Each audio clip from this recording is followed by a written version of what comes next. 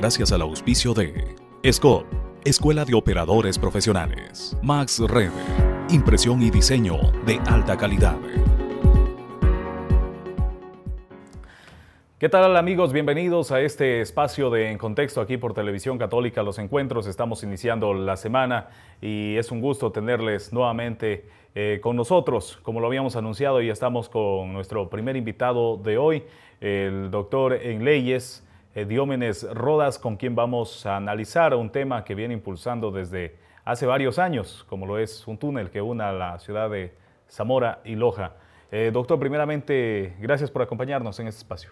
Paul, muy amable, gracias por la invitación para compartir con usted ciertas experiencias, ciertos conocimientos, ciertos proyectos que prácticamente los tengo yo, dando gracias a Dios que me ha regalado este tiempo de existencia y poder dejar algo haciendo en el transcurso de nuestra vida que quede como un legado para mi familia y la juventud y por qué no decirle para nuestra hermosa provincia. Doctor, usted viene abogando ya por mucho tiempo por un túnel que uniría a Zamora y Loja. Incluso realizó una recolección de firmas. Algunas personas le han apoyado, otras no, dicen que es un proyecto que no es viable. Pero ¿cómo nace en usted esta iniciativa de poder proponer la construcción de este viaducto?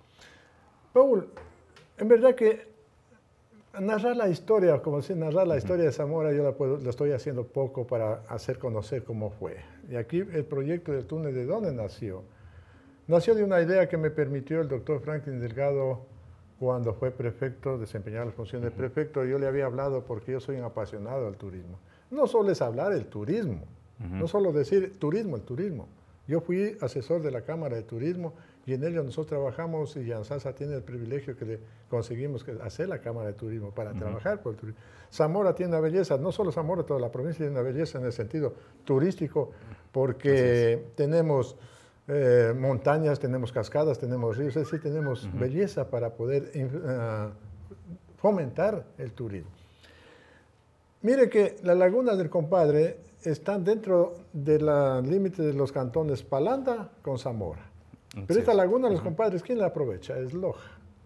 A través de, del, del, Ministerio de, del Medio Ambiente, pues eh, ellos tienen el, sendero hacia la laguna compadre entrando por Cajanuma, que ese es el turismo, y ahí aprovecha Loja. Entonces, cuando ¿Cuál iniciativa de acá de Zamora? Es decir, que, es decir que acá de Zamora pues no ha habido, no hay, no hay las autoridades que tomen esa, esta idea, este sentido de impulsar el turismo. ¿Qué sería municipio? Aquí, pues, Ministerio de Turismo y el Consejo Provincial. Y Consejo Provincial. Consejo Provincial. Llamados a... A impulsar, por eso le dije, yo conseguí del doctor Franklin Delgado el apoyo, porque le decía, conversamos como amigo, mira Franklin, aquí tenemos la laguna, compadre, que es un archipiélago, pasa de los 100, 100 lagunas entre grandes y pequeñas. Entonces, él supo apoyar, y que, pero yo tuve que hacer la gestión del Ministerio del Ambiente en Loja para que nos permita, porque para mala suerte Zamora, porque Zamora con Z, pues la administración del Parque Podocarpus, de del 88% que tiene el Parque Podocarpus, el territorio del Parque Podocarpus, es de Zamora. Entonces, tenemos la administración del Parque Podocarpus en Loja. Entonces, yo tuve que conseguir hacer la gestión allá para que nos permitan hacer sendero siguiendo el margen izquierdo del río Bombuscar. Hicimos 14 kilómetros de, de, sendero. Se construyó una, una cabaña para albergar más o menos unas 30 personas, pero esa cabaña nunca fue ni siquiera ocupada por, por turistas, porque no, hubo, no hubo el incentivo. Entonces, estando en la parte alta, en el pajonal de arriba, noté yo la distancia que nos separa Loja-Zamora. No nos separa los, los 55 kilómetros de carretera. A Zamora nos separa nada más que 13 kilómetros de distancia que hay entre, el, entre la cordillera que divide Loja-Zamora, acá con el, donde yo le tengo ubicado, pues prácticamente es en la, de la cascada Vela Novia, es en la quebrada La Rápida, perdón, la quebrada La Guatusa y el destrozo. En ese, sector le tengo, le tengo diseñado el Por donde se fue recientemente el puente, ¿no? Sí, del puente de destrozo más arribita, en ese, en ese, en ese espacio, en ese trayecto. Entonces... Ahí es su propuesta que inicia este túnel. La idea, la idea. nace de ahí, por eso yo fui, le, le conseguí que mi ñaño que vive en Quito, el arquitecto Herman Rodas, para que me diera enviando las cartas topográficas del Instituto Geográfico Militar, donde pude determinar que son 13 kilómetros. Mire, de ahí viene la preocupación mía. ¿Hace cuántos años ya está? Ya vamos, pues, eso ya prácticamente como nueve años. ¿no? Pero porque, Paul, ciudadanía, vuelvo a repetir, Dios me ha regalado estos años que tengo. Yo soy zamorano de nacimiento. Yo conozco pues el ingreso de Zamora desde que yo tuve 13 años.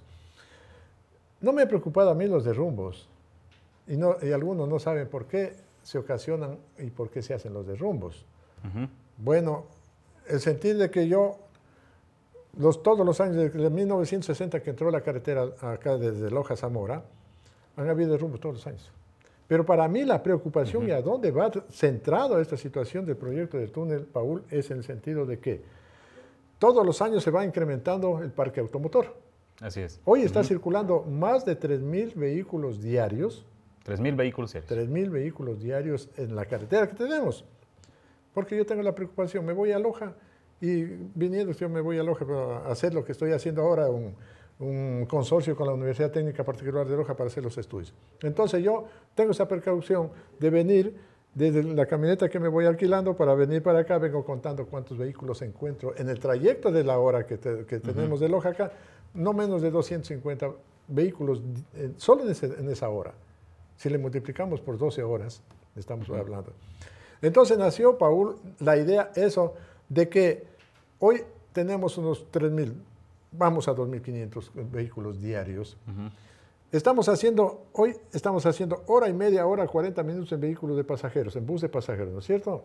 ¿Cuántos vehículos están circulando ahorita de los cabezales, de los que traen la cola, el cemento y tantas cosas? Son cabezales, ahora ya no son camioncitos, son cabezales. Son 35 cabezales que están. Cuando comiencen a circular los 200 primeros cabezales de la Ecua Corriente, que el próximo año, el 18, comenzará ya la fase de explotación. Entonces van a circular por esta vía. 250. 200, 200, 200, primeros cabezales, porque tiene que ¿Diarios llevar... O, diarios, diarios, porque tiene que... ¿Está confirmada esta cifra por la... Por la empresa. O sea, yo siempre para poder hablar saco la información. entonces, mire... Solo de un proyecto. Solo del proyecto, del proyecto de, de Tundaime. Mirador, proyecto Del Mirador, ¿ya? Entonces, mire, ¿qué pasará cuando circulen esos 200 vehículos, más los que tenemos actualmente, estaremos haciendo aquí de Loja a Zamora por lo menos 4 o 5 horas. Por ello yo lo considero que es necesario, imperativo que se haga este proyecto. Entonces ha venido las gestiones mías. Mala suerte que he tenido en el sentido pues de que no he tenido el apoyo ni del prefecto, ni de los alcaldes, ni nada, excepto cuando yo quise hacer la consulta popular para hacerle que este proyecto salga del pueblo a través de la votación en una consulta popular, el señor alcalde de Yanzasa me ayudó con 400 dólares para pagar a una persona en Yanzasa que me ayude a recolectar las firmas. ¿Cuántas firmas se recolectaron? 8.500 firmas. No pude llevar a cabo la consulta popular y en buena hora porque me, tocaba seguir gastando plata para difundir eso. Y se reformó, creo, el... Eh, bueno, yo volví, pues no, no, pude, no pude completar las 7.300 firmas porque había, tenía la gente avidez, quería deseos, présteme la firma. O sea, yo tuve que abrir el espacio porque yo al principio estaba haciendo con copia de la cédula y certificado de votación. Pero en el, tenía seis meses para recolectar las, las 7.300 firmas. Iba dos meses y no tenía 500 firmas. ¿Por qué? Por este problema de la, de la documentación. Pues la cédula no la van a traer, el certificado. Entonces, abrí el espacio para que me regalaran una firma con el número. Todos me regalaron ciudadanos de Gualaquiza, cuando fui a recolectar en el PAN, en la fiesta del PAN, en el mes de febrero, me ayudaron, recolecté firmas, pero ¿qué pasa? Que unos de Loja, unos de Cuenca, consecuentemente, como se necesitaba del padrón electoral de la provincia, las 7.300 firmas, me salieron, de las 8.500 me salieron menos, más o menos 1.500, 1.600 firmas. En caso que se hubiese aprobado la consulta popular, ¿usted piensa que la mayoría de zamoranos hubiese votado a favor? Era, pues, eh, para mí, para mí, o sea, sencillamente le voy a decir la pregunta suya, póngase que yo hubiera sido candidato asambleísta y con esta carta de presentación, capaz que el pueblo daba el voto, no por Diomedes Rodas, sino por este proyecto para que se haga. Entonces, si yo hacía la consulta, el pueblo se iba yo creo que sí En una visita pasajera tiene la mitad de votos que se necesita para ser eh, sí, asambleísta, ¿no? Sí, sí, 8.500 firmas duplicados, 17.000 y hubiera sido. ¿Por qué no participó? Eh, la situación económica, una. Y el egoísmo de estos partidos políticos tradicionales. Pero usted sí quería participar. Sí, sí, yo tuve la decisión porque, eh, bueno, a mí me, me, me, abrió, digamos así, el, el deseo, fue el licenciado Freddy Freddy Bravo de la ciudad de Loja, eh, fue diputado por Loja, entonces él vino a pedirme la información.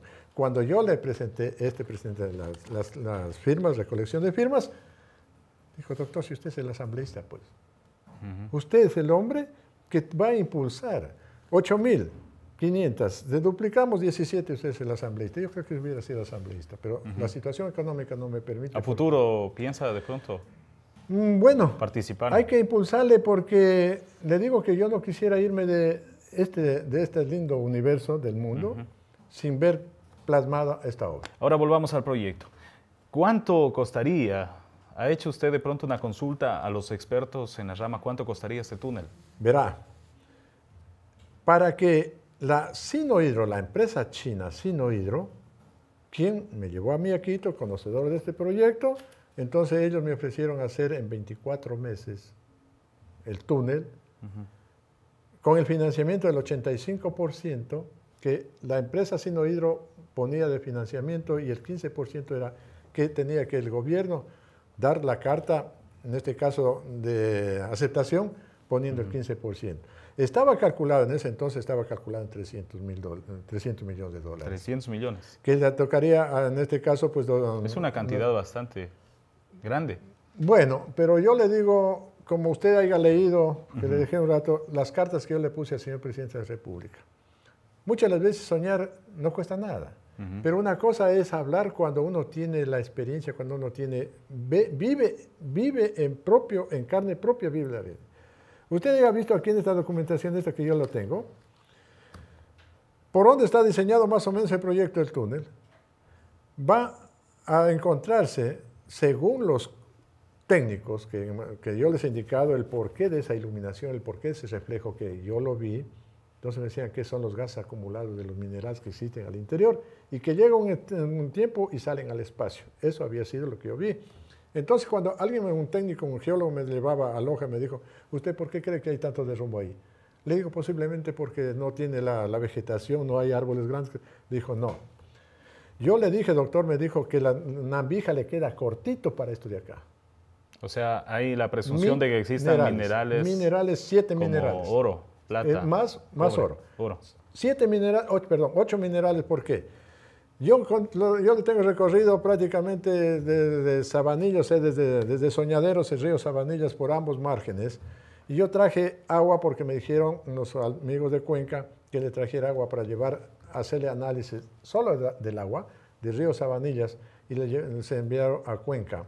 Y en la empresa de agua potable de Cuenca habían hecho los análisis del agua del río Sabanillas, que le trajimos de, de unos 6, 7 kilómetros más arriba, entonces, el resultado me dijeron que era que tenían ocho minerales, entre ellos más oro, más oro, pero me pedían dos mil dólares para darme el resultado de los análisis. Yo, pues, ¿dónde iba a tener para, para poder Aunque para determinar a ciencia cierta se necesitaría una exploración inicial, avanzada, no sé cómo le llaman en minería, con perforaciones para determinar si existe o no. Sí, no. O sea, yo le digo porque yo le tengo recorrido no le tuve la ocasión, por razones no le, no le, no le pude mostrar a usted que yo he encontrado vetas de cuarzo, vetas de cuarzo, donde da un alcance que en verdad existe minerales ahí. Existe, porque el río Sabanillas es histórico conocido que tiene oro, y le voy a decir, porque soy zamorano, que usted de la desembocadura del río Sabanillas para acá, todo el río Zamora tiene oro. Para arriba... Está demostrado por ya, las personas mismas. Entonces, yo que, yo que he sido playero, yo que he andado en las playas buscando, lavando la... entonces, cuando se llegado, llegamos a la desembocadura de Sabanillas, hemos encontrado... Muy bien. Ahora, ¿qué tiene que ver la existencia o no de minerales con el túnel? Ya. Para quienes se les están preguntando. Verá, yo creo que eso es lo que tengo que hacer un equipo. Estoy tratando de hacer un equipo, y ya lo vamos a hacer, mejor dicho, con la Universidad Técnica Particular de Loja. Yo ya traje muestras de arriba, el último viaje que lo hice la semana, hace 15 días, traje muestras para llevar a Loja para hacer... Sería un proyecto muy bueno para investigación, para los estudiantes. Sí, y por ello es lo que hemos conversado con el señor rector de la Universidad Técnica Particular de Loja, y él determinó un grupo interno de la universidad para que hagamos el, el consorcio. Entonces, hay las posibilidades que hay que buscar financiamiento, por cierto, para ayudar por asunto de, la maquinaria. Pero va a ser posiblemente como materia de una tesis para un grupo de estudiantes, que ellos presenten el proyecto como tesis y ahí va a ganar la universidad y va a ganar, vamos a ganar nosotros porque vamos a demostrar que sencillamente sí tenemos nuestra gente especializada para hacer eso. El sentido de que yo le había puesto en las cartas al señor presidente de la República que muchas veces no es necesario y me, fortalezco, Paul, amigos, en manifestar esto porque es una realidad. Si ustedes de hoy en adelante van a tomar atención, preocupación, cuando esté el tiempo bonito y vean desde, la, desde el Cerro El Consuelo, que está las antenas arriba, hacia, hacia el ojo ustedes van a ver puro derrumbo, ese cerro, ese flanco. Y ahí van a determinar lo que me dijo el ingeniero, un geólogo, que eso es cuando hay descargas eléctricas, y últimamente se ha hecho más, porque desde el 2013 ha habido tempestades acá, el cambio, de, cambio, cambio, climático que tenemos, estamos soportando, y han habido los derrumbos que tenemos aquí en la fotografía. Es otro um, indicio de que existe. Que existe, ¿por qué? Porque me decía el ingeniero de que eso es la atracción que tienen los minerales que existen adentro, por las descargas eléctricas. Ahora usted lo que me quiere decir es que el material que salga del túnel podría servir para financiar la construcción del mismo. Estamos hablando con, los uh, compañeros, digamos, de Loja, eh, en el sentido de que tenemos nosotros que tratar de, al momento de llegar a hacer el contrato de construcción, nosotros tenemos que ver, porque, Paul, el material que va a producir de la apertura del túnel tenemos que botarle a escombreras démonos cuenta, solo hagamos un, estimativo, cuántos miles de metros cúbicos van a resultar de peña. Pero ese material, por lo que yo lo he recorrido del cerro, por los indicios que hay, ese material no va a ser. Si pasamos de un medio kilómetro o 500 metros de comenzamos a hacer la apertura del túnel, de la boca túnel para adentro, casi todo, todo el material va a tener valor. Entonces, eso es lo que hay que aprovechar. Y mire que yo ya tengo eh, conversaciones con los eh, directivos de la Universidad Técnica Particular, buscar fuentes de trabajo. Que esto nos va a servir para fomentar acá industrias en la provincia. Industrias, ¿por qué? Porque nosotros no tenemos fuentes de trabajo. Aquí tenemos solo la agricultura, la ganadería y nada más. La minería que no está, no está bien. Parece que el proyecto es bueno, pero de pronto el financiamiento es el que detiene. No, no, porque yo solo estoy esperando hacer, el, eh, ya se, se, se llegue a, perfeccionar el consorcio. Ya quedó en la notaría, quedó ya hecho la minuta de conformación del consorcio con la AGMI de Loja, de la Universidad Técnica Particular, y el, y el consorcio que yo le puse, consorcio, eh, no lleva mi nombre ni el nombre de mi familia, sino el consorcio de Obras para Zamora. Se determina el consorcio que yo lo, lo, lo, preparé con mis hijos. Muy bien. ¿No saldría más barato hacer una vía de cuatro carriles? ¿Por dónde? Por donde está actualmente.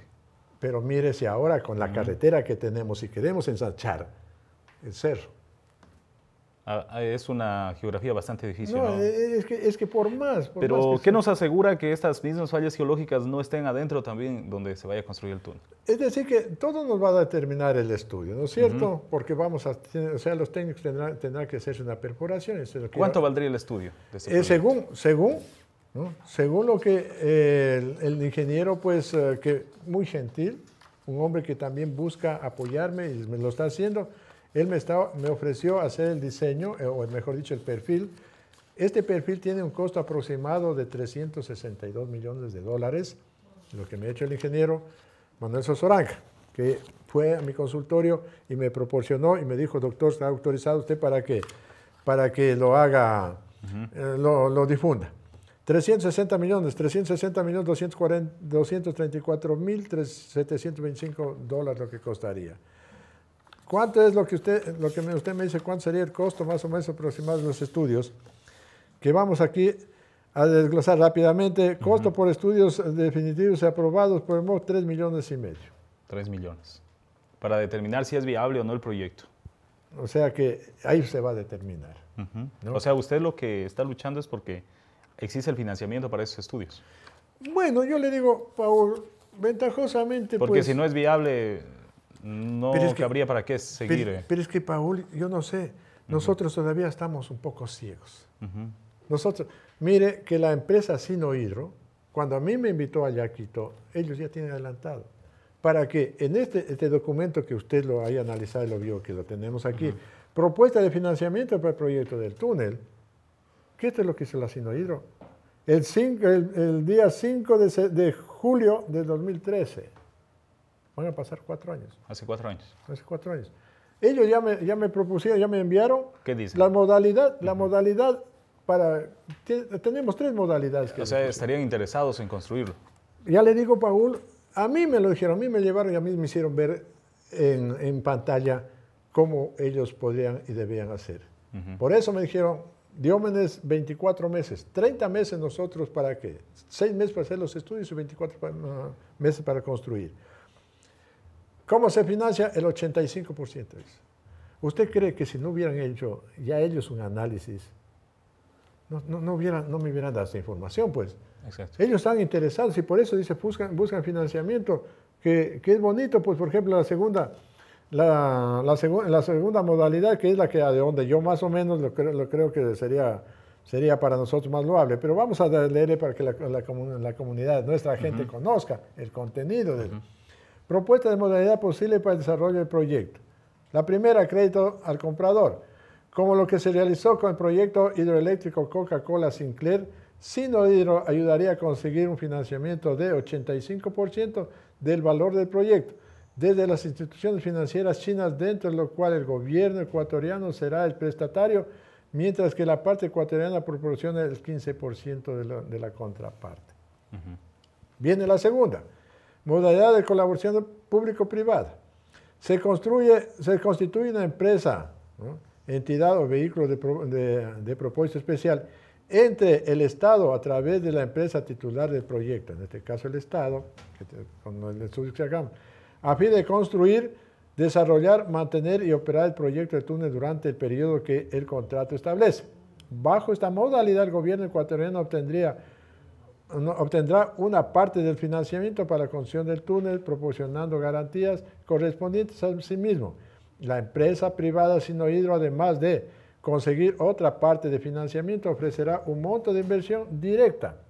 En este caso, la parte financiada por el gobierno ecuatoriano se reembolsará a través del presupuesto gubernamental del futuro, mientras que la parte privada, es decir, la, inversión y financiamiento de Sinohidro, se retomará mediante el cobro de peaje del túnel construido. Un peaje.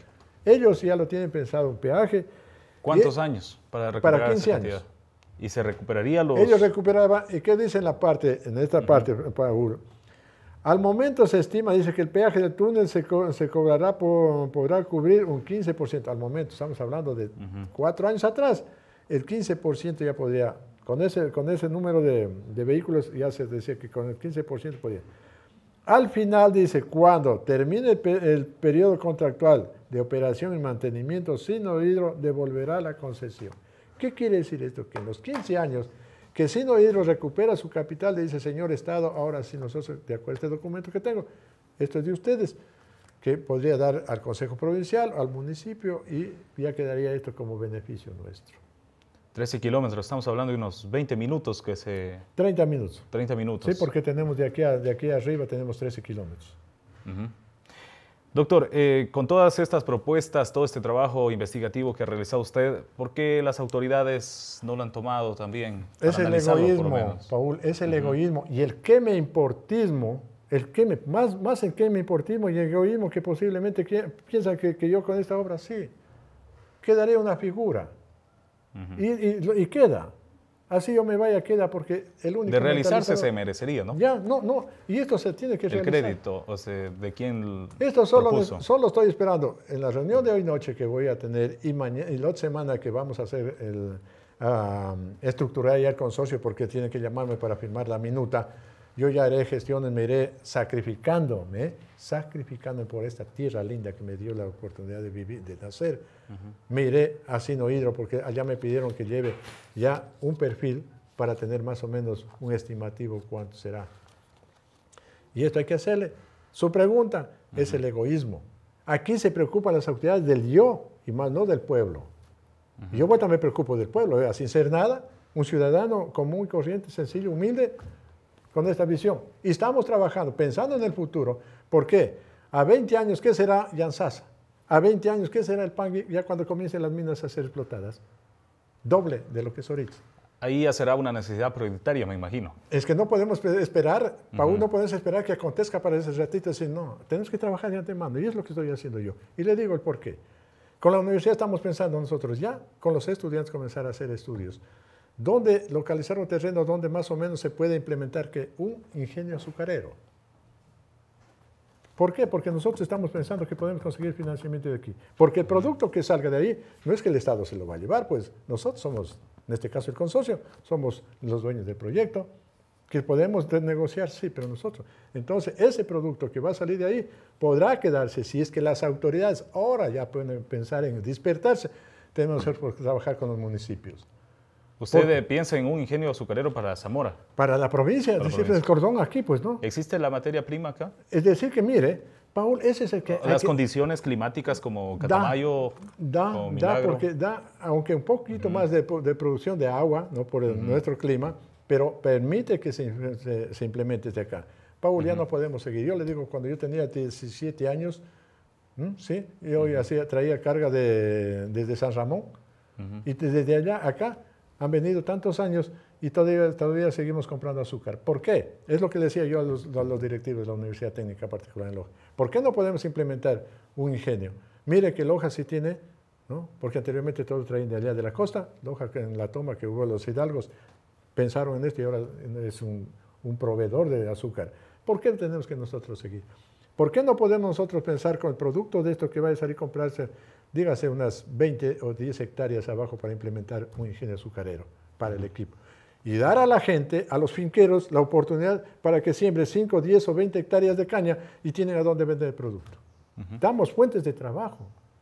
O sea, eso es lo que tenemos, eso es lo que tienen que las autoridades dejar de estar en esta situación de que, que de la minga que, que, estamos haciendo, vamos mirando hacia el futuro, dejar a las generaciones, ¿de qué sirve que nosotros, digamos, luchemos por una universidad que es lógico necesitamos? pero sacamos profesionales y no tenemos a dónde vayan a, tener trabajo. ¿Qué, pasa? Mire, yo le cuento ya un poquito apartando. Mire, ahorita, por ejemplo, aquí en Zamora, en la cabecera, aquí en la ciudad de Zamora vemos más de 50 abogados y no tenemos mayor fuente de trabajo. ¿Por qué? Porque se implementó la Defensoría Pública, se incrementó las, las funciones de las notarías, se la Defensoría, es decir, la, la Oficina de Mediación. ¿Y nosotros qué sacaríamos con nuestros, nuestros estudiantes que le enviáramos a Loja, que siga a Loja la técnica, como están yendo? Profesionales que vengan y no tengamos plaza, fuente de trabajo. A eso es lo que nosotros tenemos que mirar y tratar, Paul, los medios de comunicación, buscar a, las personas que tengan este, este, principio. Yo estoy buscando gente que me ayude. Este sí, por eso lo invitaba, porque son ideas que que merecen ser eh, analizadas. Es que, es que esto, es, esto es lo que nosotros tenemos que hacer, pero que se diga que se va a hacer realidad, no hacer de politiquería. A mí me gusta la política porque la política es arte de servicio. La politiquería es servirse de, para ir a estar en las, en las instituciones, prefecto, alcalde, pero preguntamos si es que el gobierno no les da dinero de qué. Bueno, los municipios tienen las fuentes de ingreso un poco, ¿no? Consejo Provincial de qué. Entonces espera solo del erario nacional. Y aquí tenemos una contradicción, que el señor prefecto está pidiendo que se incremente en la ley, en la ley amazónica, se incremente el presupuesto del Estado, o sea, la aportación para acá los, los consejos provinciales.